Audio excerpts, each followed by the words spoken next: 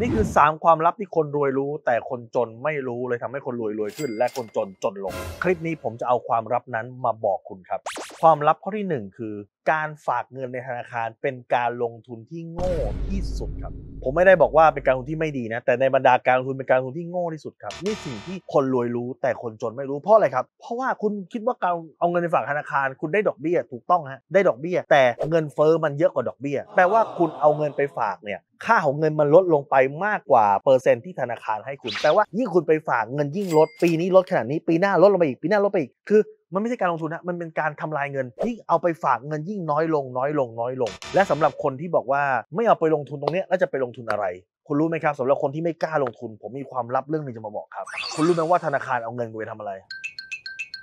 ธนาคารเอาเงินคุณไปลงทุนครับคือตอนนี้คุณไม่กล้าลงทุนนะแต่คุณกำลังปิดตา แล้วก็เอาเงินมาให้ใครก็ไม่รู้บอกว่าช่วยแกช่วยลงทุนให้ฉันหน่อยนี่ครับนี่คือสิ่งที่เขาทำอยู่ในปัจจุบันคือ คุณกำลังเอาเงินไปฝากใครก็ไม่รู้โดยคุณคาดว่าเขาหน้าที่จะมีความสามารถเขาน่าจะเก่งกว่าคุณ เอางี้ก็ฝากเงินแล้วก็ลงทุนให้ฉันหน่อยแล้วกันฉันขอหลับตาแล้วก็รอรับอย่างเดียวแล้วกัน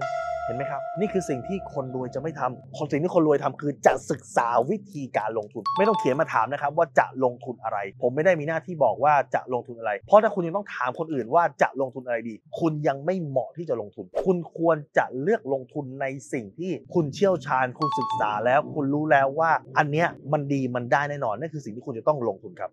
ความลับข้อที่ 2 ถ้าวันนี้คุณไม่มีเงินสิ่งที่คุณขาดไม่ใช่เงิน แต่คุณขาดทักษะในการหาเงินแต่ผมจะบอกว่าสิ่งที่คุณขาดจริงๆที่คุณบอกว่าคุณขาดเงิน ขาดเงินคือปลายเหตุ แต่ขาดทักษะในการหาเงินคือต้นเหตุ ผมจะพิสูจน์ให้คุณดูครับว่ามันเป็นยังไง ตอนนี้คุณเงินเดือนเท่าไหร่ครับ ตอนนี้คุณค่าแรงเท่าไหร่พิมพ์มาเลยครับ แล้วในบริษัทคุณมีคนที่เงินเดือนหรือค่าแรงมากกว่าคุณไหมครับ แล้วทำไมเขาถึงมีค่าแรงมากกว่าคุณครับ เพราะเขาเก่งกว่า เพราะทักษะเขามากกว่า หรือไม่ต้องบริษัทก็ได้ในวงการอะมีใครที่ได้เงินมากกว่าคุณไหมมีเพราะอะไรเพราะเขามีสกิลมากกว่าเพราะเขามีทักษะเพราะเขามีประสบการณ์มากกว่าเห็นปะดังนั้นสิ่งที่คุณขาดจริงๆอะมันไม่ใช่เงิน แต่มันคือขาดทักษะในการหาเงินงั้นคุณไปวิ่งหาเงิน โดยการใช้ทักษะเดิม เหมือนคุณกำลังไปแก้ที่ปลายเหตุ แต่ไม่ได้แก้ที่ต้นเหตุและหน้าที่ของคุณคือคุณต้องไปเพิ่มทักษะ เมื่อทักษะคุณเพิ่มขึ้นแล้ว ยังไงเงินเดือนจะเพิ่มขึ้นเองต่อให้องค์กรนี้ไม่เพิ่มเดี๋ยวองค์กรอื่นพร้อมเพิ่มให้กับคุณครับ แล้วทักษะหาจากไหน เยอะแยะครับเมื่อก่อนอาจจะยากนะในการหาทักษะ แต่เดี๋ยวนี้ผมจะบอกว่าง่ายมากครับ YouTube เนี่ยคุณ search ไปเลยครับเมื่อคุณอยากได้วิธีการตัดต่อรูปภาพพรึบอาจจะมาเป็นสักหมื่นวิดีโอให้คุณดู คุณจะได้วิธีการทักษะอะไรก็ตามคุณเซิร์ช Google คุณเซิร์ช YouTube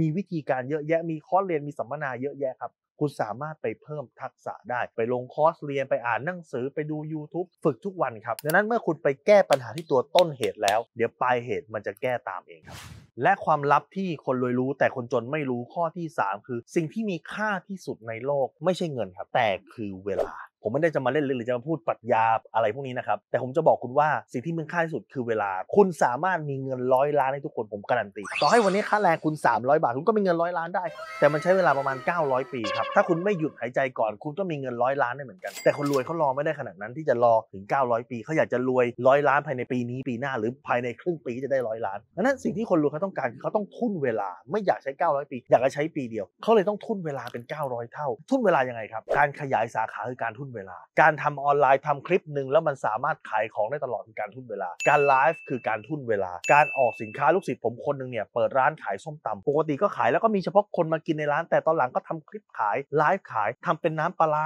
ส่งออกทำเป็นน้ำปลาขายทั่วประเทศเห็นไหมเขาสามารถหาเงินได้มากกว่าแค่มาตำส้มตำอยู่ในร้านนี่คือทุ่นเวลาเอาแล้วผมยังไม่มีตังค์จะทุ่นเวลายังไงครับวิธีการทุ่นเวลาถ้าคุณยังไม่มีตังค์คือ ทุ่นเวลาตัวเองก่อนครับ หาความรู้เพิ่มมากขึ้นได้ไหมได้ นี่คือการทุ่นเวลา นี่คือการซื้อเวลาตัวเองนะ สมมุติว่าคุณปิดการขายเดือนหนึ่งได้หนึ่งเคส แต่ถ้าคุณมีความรู้มากขึ้นลงเรียนเรื่องการปิดการขายอ่านหนังสือเรื่องการปิดการขายเป็น 1 เดือนปิดได้ 2 เคสแปลว่า 1 เคสใช้เวลา 15 วันถ้าคุณปิดการขายเพิ่มมากขึ้นเก่งขึ้นเดือนหนึ่งปิดได้ 10 เคสแปลว่าคุณปิดได้ 3 วันต่อ1เคสเห็นไหมคุณสามารถทุ่นเวลาได้ เมื่อคุณพัฒนาความรู้พัฒนาทักษะ คุณก็จะสามารถทุ่นเวลาได้ครับ ดังนั้นคุณคิดให้ถูกตอบโจทย์ให้ถูกว่าสิ่งที่คุณขาดจริง ๆ คืออะไร เมื่อคุณรู้ความลับ 3 ข้อนี้แล้ว คุณจะไม่แปลกใจว่าทำไมคนรวยถึงหาความรู้ตลอดเวลา เพราะนี่คือความลับของเขาค